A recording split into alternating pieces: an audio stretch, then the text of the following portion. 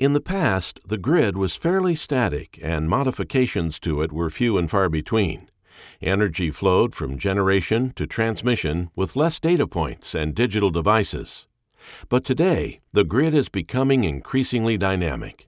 With the introduction of renewable energy sources, digitalization, grid modernization, and new technologies, the grid is under pressure like never before. Changes to the grid are required more often, considering more data and with increasing complexity. Traditionally, the planning for grid changes starts many years in advance. To keep track of project files and changes over time, power system planners would maintain and store the various project files separately using manual or homegrown processes. To run a simulation study considering all the different data sets, they would need to repetitively search and collect all the files each time, leading to workflow inefficiencies and model inaccuracies. Now, with time-based modeling in the PSS Network model management tools, planners can efficiently and accurately plan for more grid changes at one time and deal with increasing complexity since all the necessary data is in one location. Let's take a look at time-based modeling in action. This is PSS ODMS. On the far left, the Manage Projects window lists all the projects and the associated phases. In addition, all created scenarios are listed here. On the right, a single-line diagram provides an overview on the base network. To see more about projects, click Projects and select the project name. Here you can see additional data like the project type, project state, and more. With the Informational tab, you can view the commission and in-service dates and other project-related details. Projects can also be viewed in the PSS Timeline module. Just click Model, Projects, View Timeline.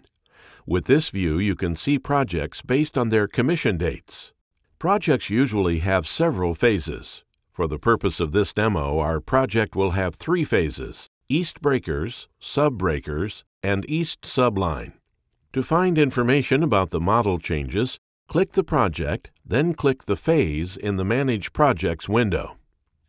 If we sort by action, we see the first three lines show two terminals and an AC line segment were added into the model and their properties changed. Here, the name of the AC line segment changed from original value to a new value of 1. Under the Scenarios tab in the Manage Projects window, we see several existing scenarios, along with their related projects and phases.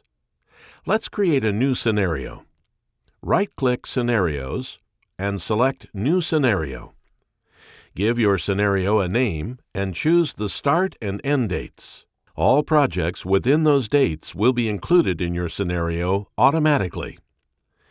In this example, two projects and six phases will be included. Click OK and the new scenario appears. Now let's create another scenario with a larger time span.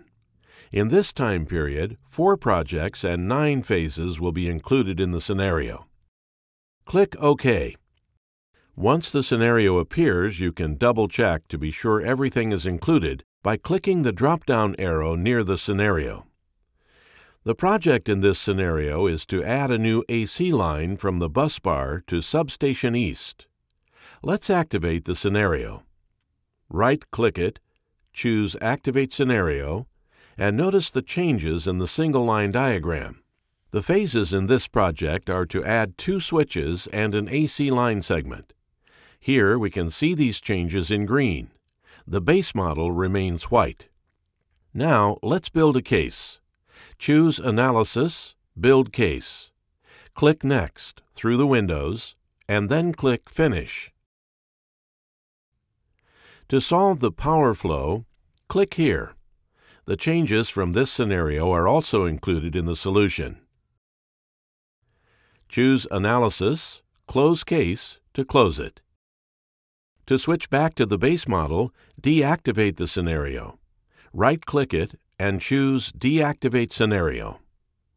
If you'd like to export the changes for each phase separately, right-click the phase and choose Export Model Changes. PSS ODMS will export an incremental XML so you can easily exchange data with other systems.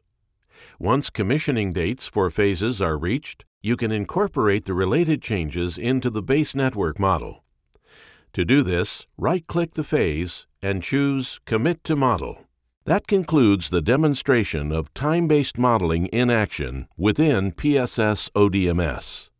Time-based modeling has lots of benefits. You can reduce the time spent searching for project data, easily plan, maintain, and track several projects over time, and increase the accuracy of simulation data and network models. A dynamic grid requires a powerful tool to support the work and the decisions you make today so that future projects are successful.